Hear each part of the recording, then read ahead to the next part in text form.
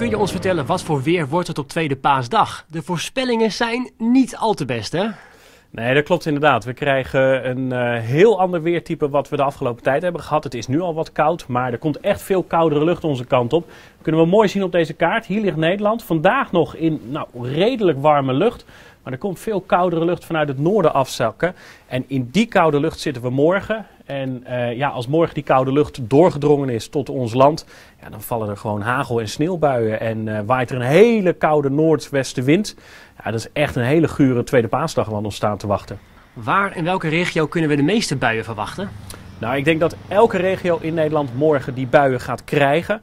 Alleen je zult wel zien dat er plekken zijn waar er net wat meer buien gaan vallen. En waar er echt een, echt een flinke hagelbui het zelfs midden op de dag even wit maakt. Maar waar dat gaat gebeuren, dat is heel lastig aan te geven. Wat ik wel zie op dit moment in de weerkaarten, is dat er met name morgenavond vanaf de Noordzee een gebied met wat uh, flinkere buien, sneeuwbuien waarschijnlijk, over het noordoosten van Nederland gaat trekken. Dus het zou mij niet verbazen als paas, of tweede paasdag eigenlijk eindigt met een sneeuwdekje ergens in Groningen. En die sneeuw blijft dan ook even liggen? Ja, die blijft even liggen omdat het best wel veel sneeuw is. De ondergrond is wel warm, dus het begint wel te smelten. Maar er valt misschien wel zoveel dat het echt even een tijdje duurt voordat het allemaal weer is gesmolten.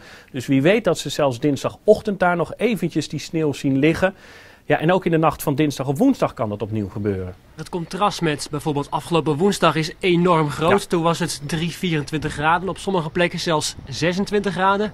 Hoe kan dat in zo'n korte tijd dan veranderen? Ja, dat is wel typisch voor het voorjaar in Nederland. Zodra de wind uit het zuiden waait, dan kan al voorzichtig hele warme lucht uit Zuid-Europa doordringen. Nou, als dan alles meewerkt, volop zonneschijn, weinig wind, dan kan die temperatuur flink omhoog gaan. Ja, en als dan de wind klapt naar het noorden, ja, dan krijg je toch weer de koude lucht. Die ook altijd nog wel begin april uh, vrij makkelijk bereikbaar is. Dus uh, ja, het hoort er een beetje bij. Maar ik kan wel zeggen, we hebben deze week eigenlijk de meest grote verschillen wel gezien. 26 graden tegenover die sneeuwbuien die vanaf morgen staan uh, op het programma. Ja, dat, dat zijn de uiterste die je kunt krijgen in, de, in deze tijd van het jaar. En die krijgen we nu dus ook.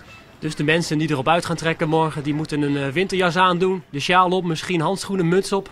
Ja, absoluut. En vergeet niet, hè, tussen de buien door breekt even het zonnetje heel mooi door.